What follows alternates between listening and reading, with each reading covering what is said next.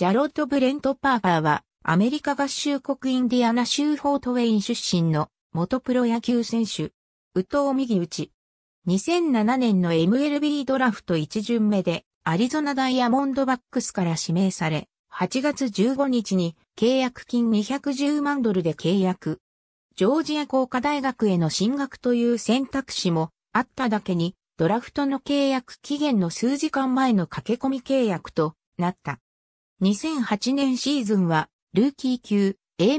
級を経ずにいきなり A 級サウスベンドシルバーホークスでプロデビューし、24試合に先発登板して12勝5敗、防御率3.44-117奪三振の好成績を残した。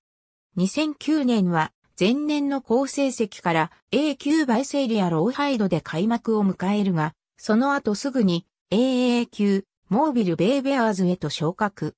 しかし、7月30日の登板で右肘に痛みが走り、トミー・ジョン手術を受け、残りのシーズンと2010年は全休となった。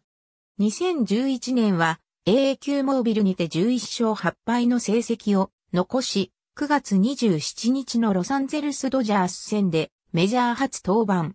5.2回を投げて、被安打4無失点に抑えるも、打線の援護がなかったため白星はつかなかった。また、ベースボールアメリカ誌の有望株ランキングにおいて、マイナー全体で40位の評価を受けた。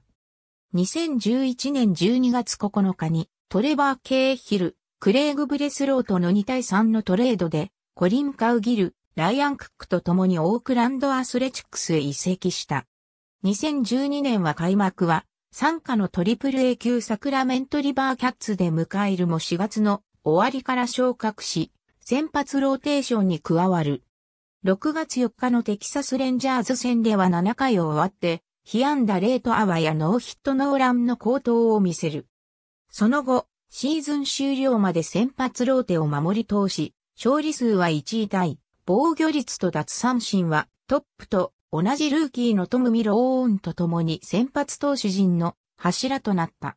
また、デトロイトタイガースとのディビジョンシリーズでもルーキーにして第一戦に先発。これは球団史上初めてのことであり、23歳と317日でのプレーオフ第一戦先発はバイダブルーに次ぐ球団2番目の若さであった。結局、先発した第一戦、第5戦ともに相手エースのジャスティン・バーランダーに投げ負け、チームも敗退したが、実りの多いシーズンとなった。2013年は32試合に先発登板して12勝8敗、防御率3.97-134奪三振の成績を残した。2014年は開幕投手に指名されたものの、自身2度目のトミー・ジョン手術を3月25日に行い、シーズンを全休することが3月17日に発表された。3月20日に60日間の故障者リスト入りした。2015年もメジャーのマウンドに登る機会はなかった。